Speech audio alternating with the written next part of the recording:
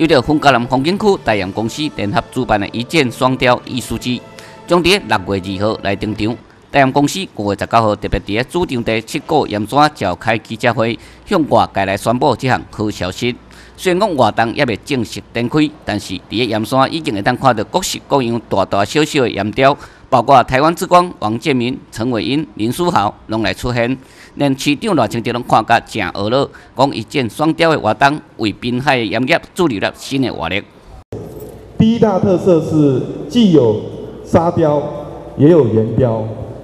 那第二大特色是我们邀请啊国内还有国际级的大师来创作岩雕跟沙雕的作品。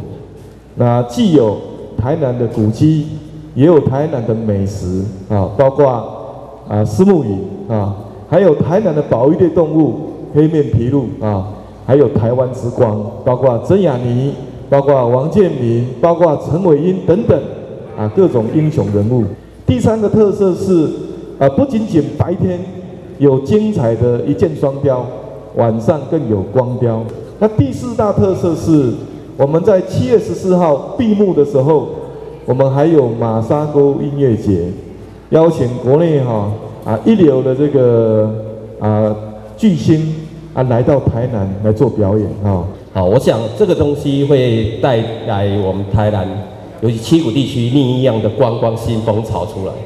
我希望这个活动的举办以后，好会带量呢，尤其是中北部的客人来这边看，来这边体验，体验我们的一箭双雕，体验我们台南的小吃，体验我们的风俗民情。我想全体的。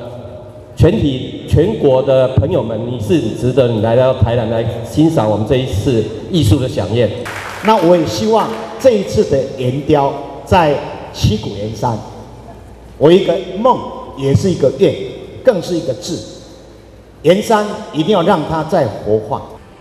伫个记者会中，主办单位嘛安排大市场等人为全台湾上届大的岩雕来割彩。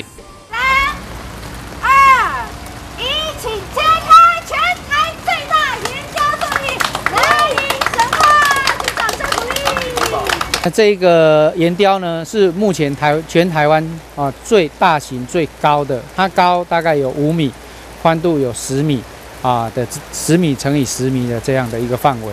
那呃用了大概呃三百多吨的盐啊，才做成这样的一个呃岩雕。这个是以南瀛神话哈，结合我们台南啊安平古堡啊，它的还有我们南南昆山那边本身就有平安岩记。